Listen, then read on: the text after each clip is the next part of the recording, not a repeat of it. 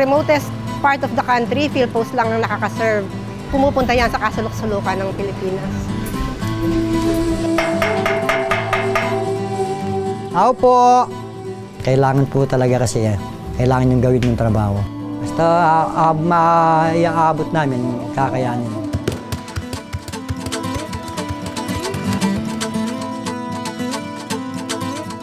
Naghatid siya, tuwang-tuwa, ay nandyan na si Mr. Postman. Nandyan na yung sulat ko.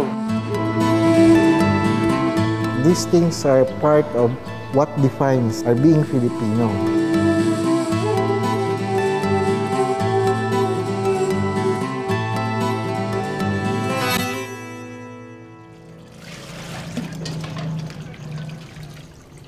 Maagang nagsisimula ang araw ni Tatay Hermie.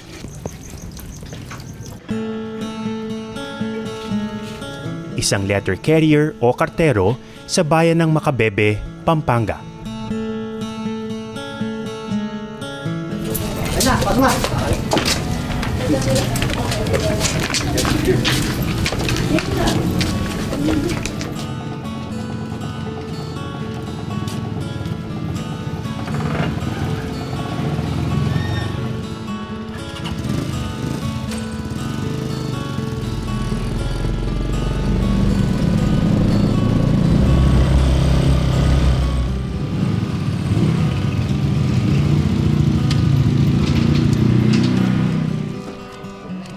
Pagkahatid sa kanyang mga anak sa eskwelahan, papasok na si Tatay Hermie sa lokal na tanggapan ng Philippine Postal Corporation o PhilPost. Magaan yung trabaho, mabigat yung responsibilidad. Pag na na-receive mo na yung mga sulat mo, cargo mo na yon, Cargo mo na lahat yun.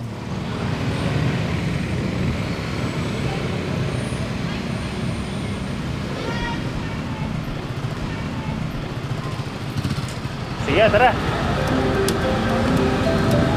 Saan ang muna mong ano dito? San Gabriel po. San Gabriel.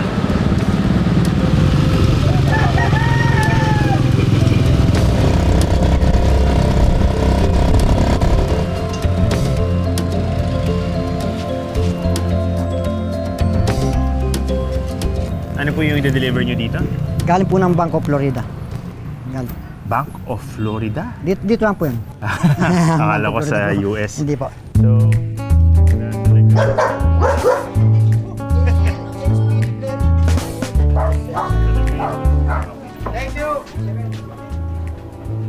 Ito ay sa pamangkin ko ito, si Man. mm, May ano siya, may kinuwang bahay na ano, hulugan. mm. Kaya yan yung, yan yung singil. Oo, magbabayad siya ng, siya ng buwan-buwan. Oo.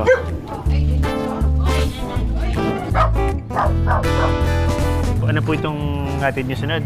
Galing sa DNR. Mhm. Malamang sa lupa to pag ganito DNR. Mm. Sulat po. Tao po. Lagi siya naghatid sa inyo. Very good siya.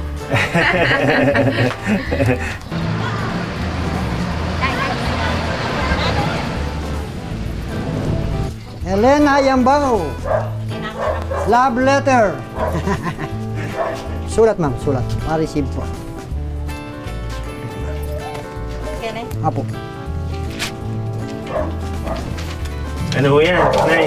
Ano po? Sa, ano po, sa... Sa korte? Akala ko, akala namin love letter. Hindi po. Ibang klaseng love. Problema po sir. Problema, nako. Singil sa bangko, petisyon sa gobyerno, kaso sa korte. Ganyan ang klase ng mga sulat na inihahatid ni Tatay Hermie ngayon. Malayo raw sa panahong uso pa ang personal mail o yung tinatawag ng mga kartero na love letter. Sila mismo sasalubong. sasalubong sa'yo, ma- mag, ah, maghihintay sa kalsada yan. Pag sumulat yung mister ko galing Saudi, bigay mo kaagad, sabi. Kahit yung nagpapadala ng pictures, wala. Di ba dati magpapadala ng pictures yan, makakapal na ganyan. Hmm. Ngayon wala na, nakikita na sa Facebook. Paano pa magpapadala ng picture. Mm-mm. Mm-mm. Kaya Nakakamiss ba yun? Nakakamiss po. Pero ngayon, pag nagdi-deliver ka, siya na yung kausap mo, hindi sasabihin niya, hindi pa siya. Lalo na kung pag kaso or ano, Tatago. tatago. Tao po. Tao po. Pero isang delivery ni Tatay Hermie ang pinakaaabangan pa rin ng mga taga rito. Marilyn Pachakso nga. National ID. National ID mo. PhilPost ang naatasang maghatid ng national ID sa bawat tahanan sa buong Pilipinas. Morning po. Teka, ano eh, Marilyn Pachakso nga. National ID mo. Para si... Nanay Marilyn. Matagal niyo na po bang inintay itong ID niyo? Ngayon pa lang doon. Oo. Eto na po. Okay po ba? Okay Ma- po. happy ka naman? Opo. Happy ka ba sa litrato mo? Check lang po yung spelling, yung story spelling po birthday. Opo, suya po. Elma Bonifacio. Tao po. Elma Bonifacio. National ID na. Awa. Mag-anak po. Kamag-anak. Mag-anak po. Ah. Pwede pong tumanggap ang kamag-anak. Pwede po. Mm. Para national ID lang. Sige. Salamat po. Very good. Salamat sa ano, ah. sa pera. Wala naman palang pera. Tao po. Tao po. Tao po. Walang tao. Tatanong ko muna sa kabila. Tao po. Balo. Ano? Anong ano anong anong problema sa pag-deliver nito? Pu- Purok lang po, walang house number. Okay. Tapos meron siyang contact number nakalagay puro 1. Hindi mo contact to.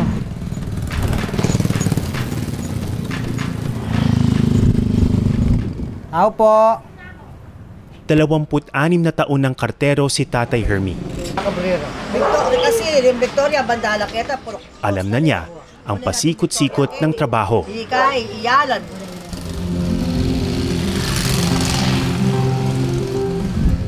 Marami na rin siyang pinagdaanan sa ngalan ng serbisyo.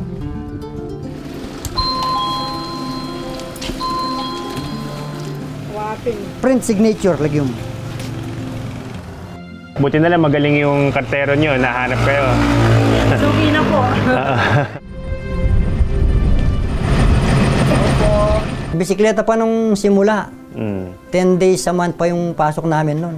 200 per day. Mm. Tapos yung natitirang 10 days, 10 working days, pinovoluntary namin. Nagdi-deliver pa rin kahit wala sahod. Bakit? Para ma-permanent. para makapasok sa kanila. Oh, papakita mong Papakitang masigasig gilas, ka. man talagang desidido ka magtrabaho sa kanila kahit walang sahod yung ibang araw. Grabe, ano?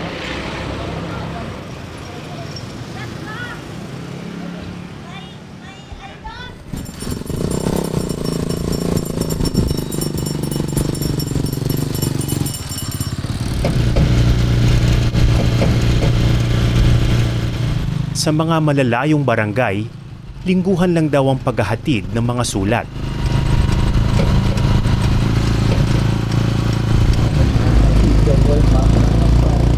Ano po itong ihatid? Tinanggap noong January...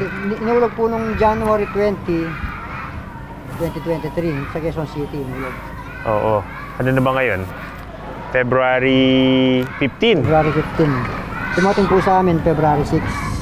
February 6 dito sa ano Opo, sa Macabebe. Schedule lang po yung deliver dito kasi malayo dito. Halos tatlong linggo rin. Opo. Galing lang naman Quezon City yun. Oo nga. Oo, matagal din ano kapag kapag ah, normal na ano parang regular meal. Opo.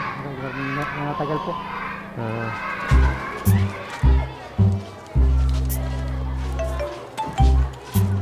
Nakapagpadala ka na ba ng sulat? Nasubukan mo na? Hindi? Ilan taon ka na ba? 22 years old. Hindi mo pa nararanasan magpadala ng sulat? Kayo ba nakatanggap kayo ng love letter dati? Oo, nakatanggap. Gumagawa rin ako ng love letter. Nox, ha? Simula nung yung panibago sa sulat eh. Ah, bago ang lahat, yung sa unang sulat. Ah. In English ko, all is new. Turuan mo siya. Oo. Pag love letter yan na may memorize yan kasi Paulit-ulit nasa ba- puso eh. Ah. Binabasa mo. Siyempre, nat- natatandaan mo, binasa mo, sinulat ng yung, ano, nililigawan mo. Naniligawan mo. Hindi, hindi ka ba interesado sa ganon?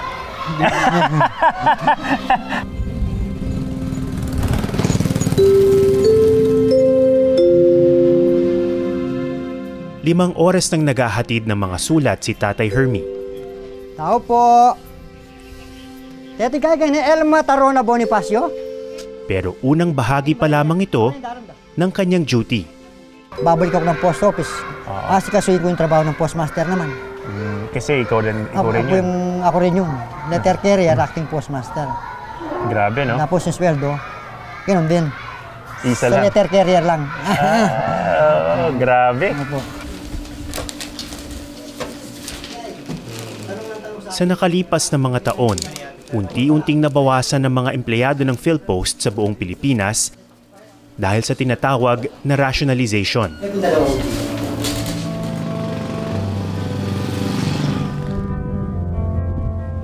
Sa bayan ng Makabebe, National ID na. si Tatay Hermie lamang ang regular na empleyado. Habang isa pang kartero ang contractual employee. Handerman ko lang po yung manpower namin. Dati po nung nadaknan ko yan, pitong kartero, tapos naging lima kami, tapos naging tatlo, ngayon naging dalawa. Ngayon, isa't kalati na lang kami. Kasi parang kalati na lang delivery ko, nasa office yung kalati ko.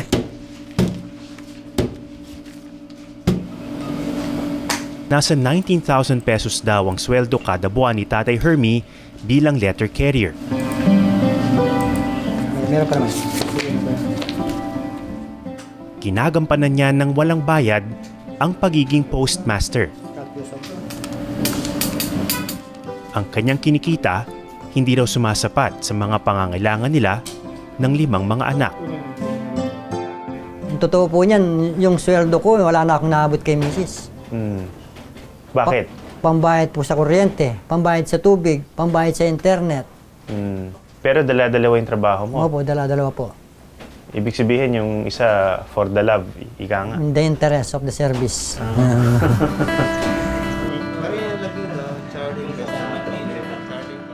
Sa kabila ng mga pagsubok, tinatangkilik pa rin ng mga taga Makabebe ang serbisyo ng PhilPost.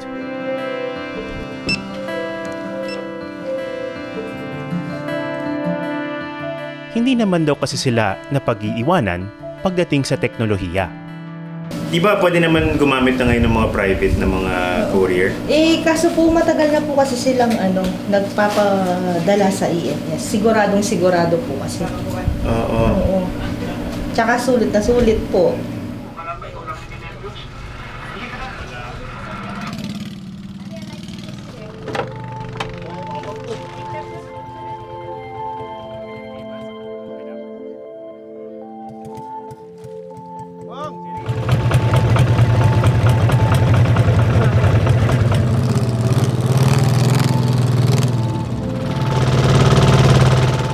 Si Ronel naman ang maghahatid ng mga sulat.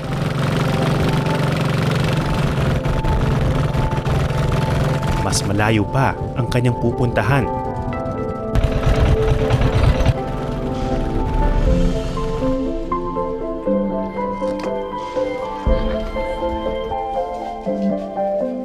Pero dahil contractual, lalo raw mas maliit ang sinasahod ni Ronel.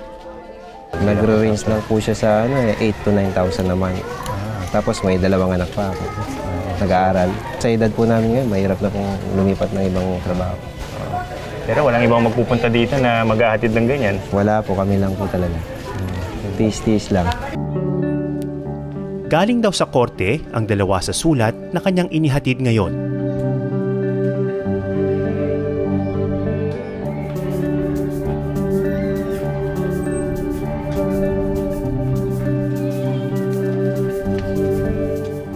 Samantalang, ang isa para sa isang guro sa lokal na paaralan. Madam, good afternoon.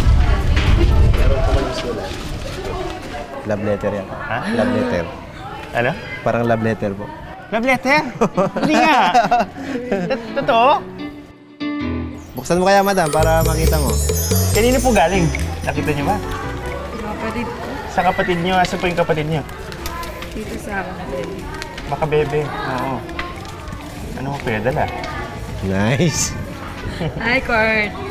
Ah, talaga? Ang cute naman. Nakatsyempo rin kami ng love letter mula sa isang thoughtful na kapatid ni ma'am. Mukhang espesyal na araw ito at pambihirang pagkakataon, lalo na sa ganito kalayong mga lugar. Ano yung paramdam mo na pinadala ka ng sulat? Masaya, sir, siyempre. Na-surprise. Oo. oo. Hindi na kasi uso yung ganyan eh, no? Kaya nga po. Oo. Nga di tatabi mo yung sulat na yan. Yeah, siyempre, sir. Natago ko to. Isang simpleng kaligayahang hatid ng mga masigasig na kartero. So kita nyo naman itong komunidad na ito medyo malayo na sa sentro. Pero bahagi ng responsibilidad ng post office yung maabot yung mga lu- lugar kagaya nito kahit gaano ka liblib o kahirap puntahan. At yung mga kartero, siniseryoso yung trabahong yan. Pinakayaw ko lang po yung pag tagulan, yung pag malaking tubig. Hirap din delivery. Ano bang karanasan mo kapag malaki tubig? Kailangan, limbawa po, yung mga ras na sulat galing sa korte, kailangan i-deliver. Mapipilitan kang maglakad. Na, tapos, mga, buti nakabili ako ng buta yung hanggang dito, Hmm. ginagamit ko. Kahit sa akin, Hmm. pansariling gastos ko ginagamit.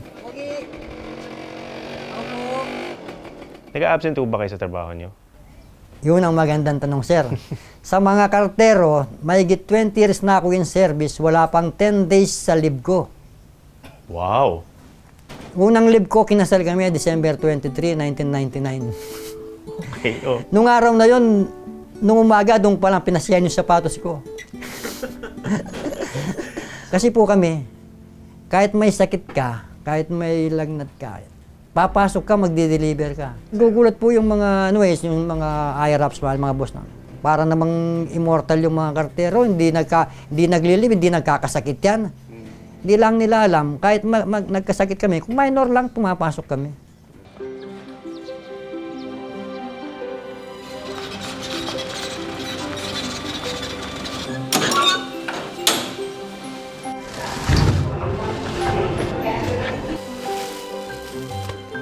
Kumpara sa mga probinsya, mas malawak ang operasyon ng PhilPost sa malalaking lungsod gaya ng Metro Manila.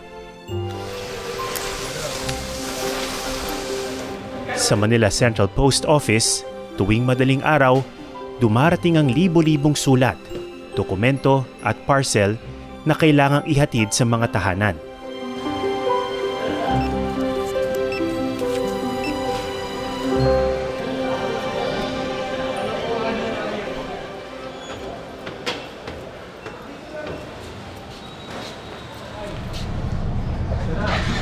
Sa edad na 61, si Tatay Constancio ang pinaka-senior letter carrier sa Maynila.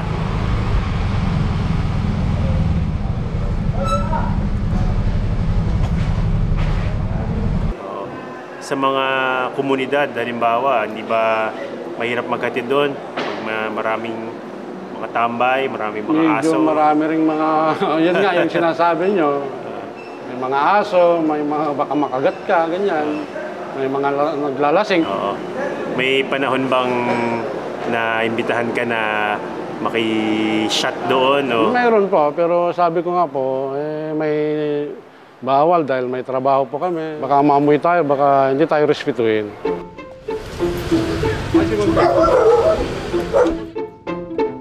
Magre-retiro na si Tatay Constancio sa loob ng ilang buwan matapos ang 33 taon sa PhilPost. Kerman, may sulat po kayo, Kerman.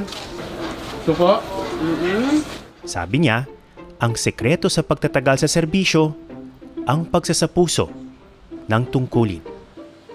Medyo malungkot din at dahil maiwan ko itong mga kasamahan ko dito. Wala po akong pagsisisi sa Ratom dahil ito po ay marangal na trabaho.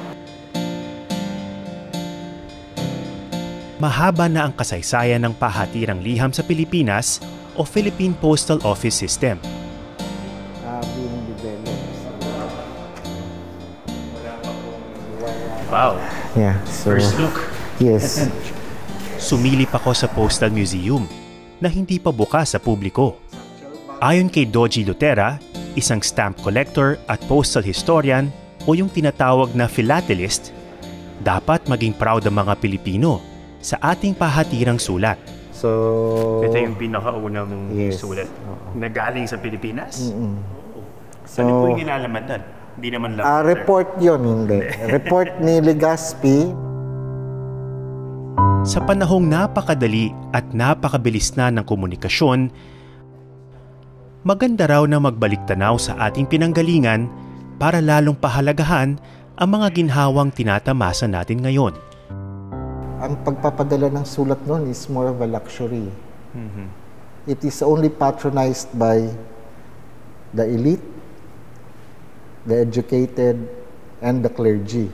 And then an average letter would reach, mailed from the Philippines, would reach Spain, any, any province in Spain, in about 140 days. Ah, ang tagal. Ano? So kung mag-iimbita o kung Oo. mag-iimbita ka ng iyong ninong o ninang dun o kamag-anak mo sa Espanya sa isang kasal, Hmm.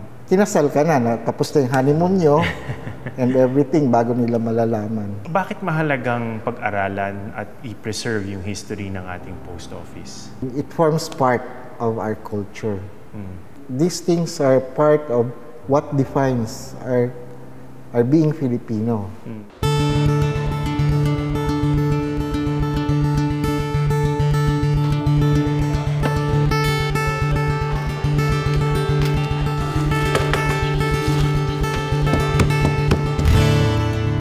Isang government-owned and controlled corporation o GOCC ang PhilPost.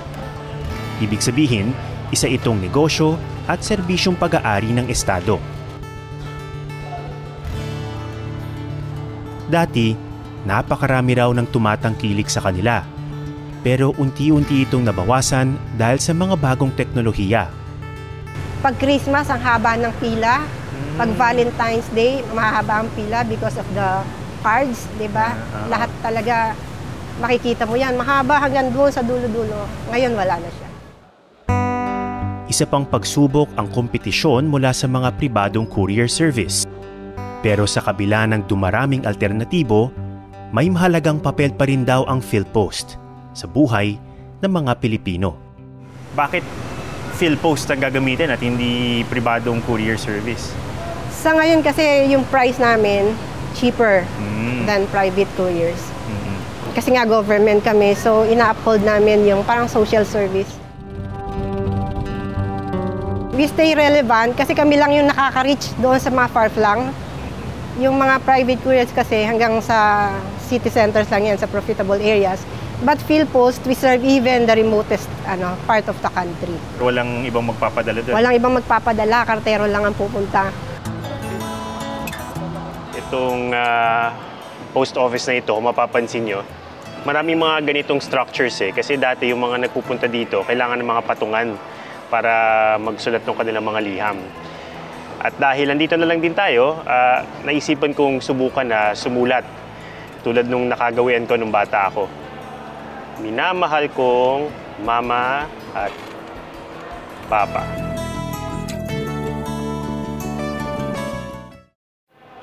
Minamahal kong mama at papa.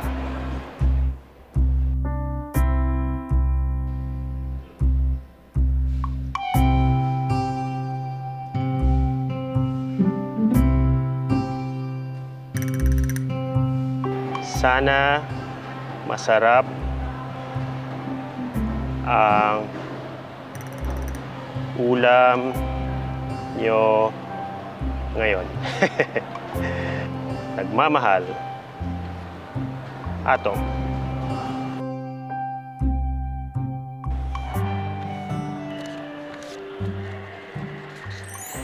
Yun, sakto. Tapos dito naman sa sobre, lalagyan mo dito ng return address. Ito yung address mo, sakaling hindi mapadala yung sulat, ibabalik sa iyo yung liham. Tapos lalagyan mo dito sa gitna yung address naman ng papadalhan. So gawin natin yun. Kailangan lang maganda yung pagkakasulat mo dahil kapag ganitong sulat kamay, kung hindi maintindihan nung ating mga empleyado ng post office, hindi madedeliver yung sulat mo. That's it. Mm. Hi, ma'am. Hi, sir. Nagpapadala po ako ng sulat. So, yun po. First 20 grand is 16 pesos lang. 16 pesos lang. Less than 20 naman siya. Wow, ito po. Ako na po maglalagay nitong mga stamp kasi na-miss ko na to eh.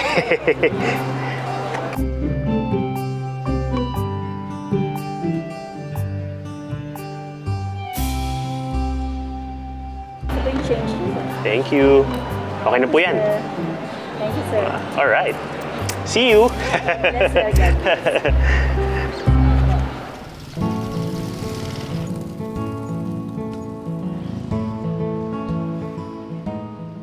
Pagkatapos ng kanyang duty bilang kartero at bilang postmaster ng Makabebe, sa hapon, sasabak naman si Tatay Hermie sa kanyang pangatlong trabaho. Ang pagluluto ng kalamay. Ang dami niyong trabaho ah. Kailangan po sir, eh, marami po yung anak ko, eh, limang lalaki, pag-aaralin lahat. Sanay na sanay na po kayo niyan paggawa ng kalamay. Opo, binata pa lang ako, nag naglalo na ako ng ganyan. Minana sa mga lolo't lola, saka sa mga nanay. tatay.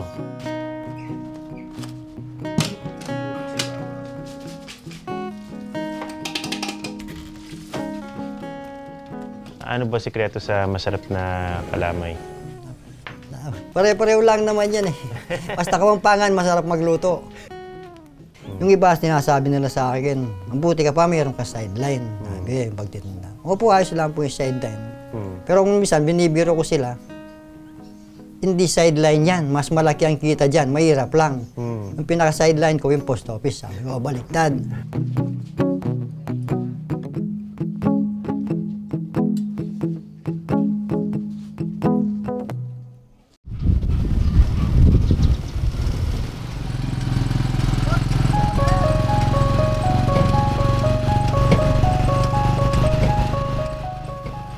Ko natatagalan niyo yung, yung trabaho na parang pasan nyo na yung, yung responsibilidad para sa buong lugar na to. Napamahal na ako sa trabaho sa post office. Oo. Naka yung mga tao, nakasalambu ako sa kalsada kahit na kahit saan ka dumaan, kumakaway sila. Umisan, kapag umuulan, o, silong ka muna, kape ka muna. Hindi mo na maintindihan. Siyempre, kaya po ako ginagawa ko parang yung post office parang akin na rin eh. Mm. Kahit po walang pasok, lalo pag bumabagyo, dyan lang ako. Dadala dala ko yung susi ko, check ko yung office. Ginagawa ko yung makakaya ko para sa post office. Mm. Mm. Kailangan po talaga kasi yan sa buhay. Kailangan yung gawin yung trabaho.